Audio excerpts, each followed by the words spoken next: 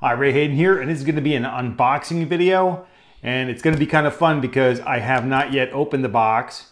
And normally in an unboxing video, I would probably have checked out what's in the box first before I go ahead and open it. But for this one here, let's use my favorite knife. And it's my favorite knife because it was free and it gets work done. And let's just open this up. Now, uh, on this particular box, this is an item that I purchased for the tractor that I've been beating half to death out there in the fields. And what this is, I'll show you in a separate video when I do the installation video on this device. But if anybody has a tractor uh, or you do a quick Google search on what a three-point hitch is, uh, that's you know anything on the back of a tractor that lifts up and down and everything else. On the back of the tractor, you might have a couple of different things. One of which is a PTO or a power takeoff. Basically, it's a gear that sticks out the back of your a shaft that sticks out the back of your tractor. You can connect stuff up to it like mowers and other kind of things for power, or you can connect leveling blades and things like that uh, to the back of your tractor to do work, but you don't need any power to run anything on it. So anyways, you have that and you have, there's a three point hitch. The top hitch is, um, the top point is the, you know, the connector for the top. That helps you to tilt things forward and back. And the other two hitches on the bottom lift things up. Now, one of the things I've learned about a three-point hitch is it doesn't apply pressure down uh, unless you have like an auger that has something like that that digs into the ground. That's a different story, and I don't have one of those.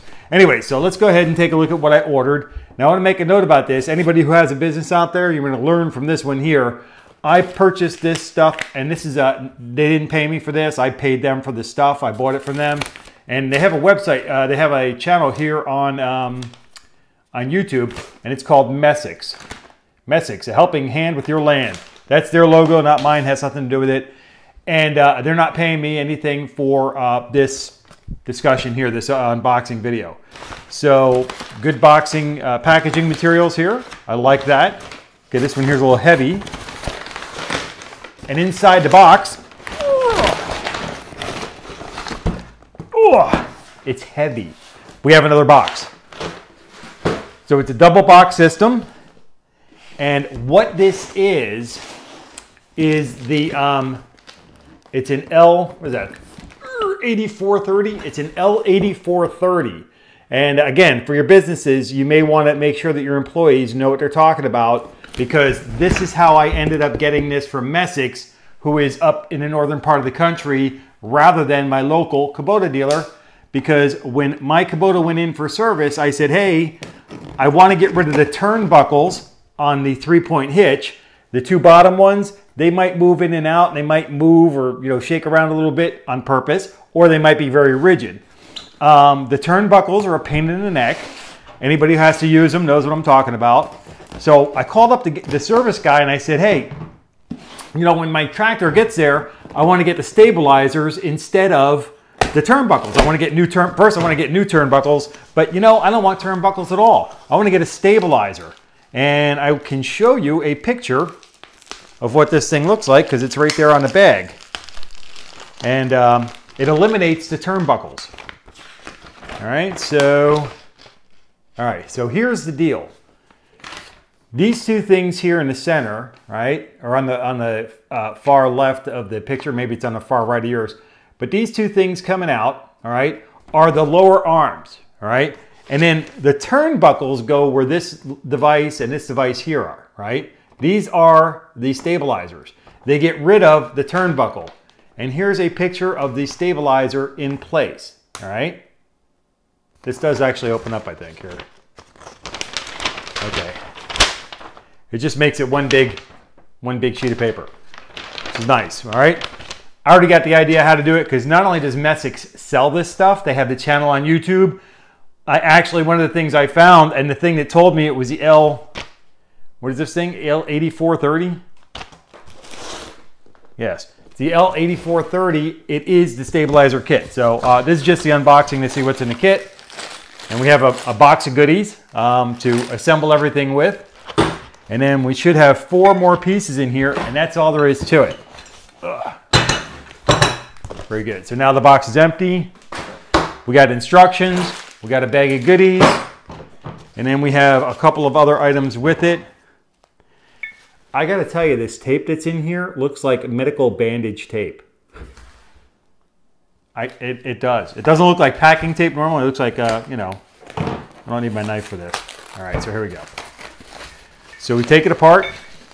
This is one of the pieces that it, uh, oh, there's actually four pieces in here.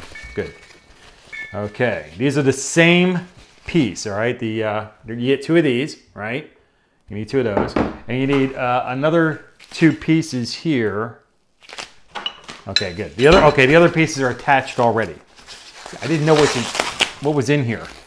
But this is exciting stuff it's going to save me a lot of time, energy, aggravation, frustration, and things like that, which you know I hate so much. All right, here we go. All right, and this slides. This slides back and forth and locks in place. Now, there's uh, another gentleman out there, and I, I am very sorry, I forget the man's name right now. He makes a stabilizer that goes on the back of your tractor. He custom makes them. They're made in the USA, fantastic and all that. The main difference between his and and this one here is this one here is a Kubota factory, you know, OEM, original equipment manufacturer. Uh, they may not be the actual manufacturer. They may buy them from a sub party or something like that, sub it out or something like that. But it's from Kubota. It's got a Kubota instruction. It's got the Kubota logo on it and everything else. If anything goes wrong with my tractor, this is a, Kubota part. I bought the tractor brand new. If anything is going to go wrong, I'm a law student, right? So if anything goes wrong from a liability standpoint, I want it to be Kubota parts um, that because I think they got the money to help fix me if I get broken because I've uh, installed everything properly and for some reason it didn't work. Anyways, there's another part of this thing here. There's a set of, it's heavy.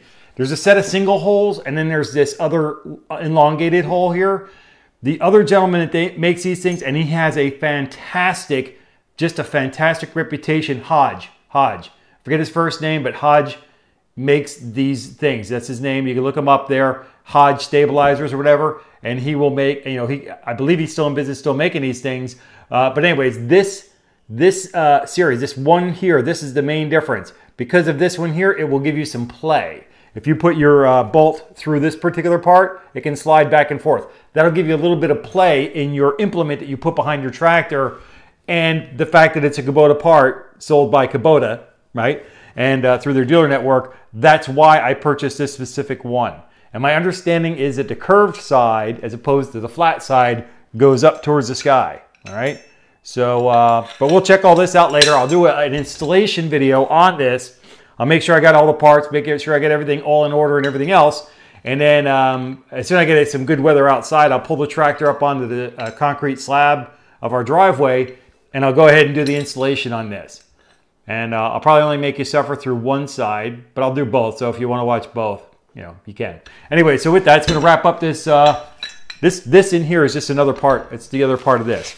And the main thing about this part here is um, this this side here connects up by the tractor. All right, so I know that part, that because I already watched a video on how to install the thing.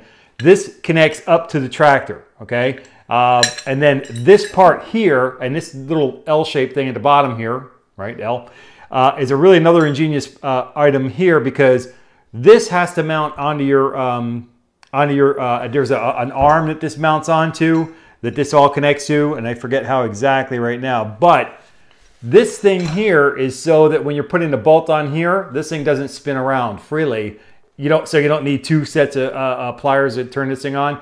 You can just, you put this thing in, it kind of locks into place, kind of like that kind of deal. I don't know, like that kind of deal, so that it can't, it can't turn. It, this isn't mounted this way. but anyway, so it won't be able to turn, you know?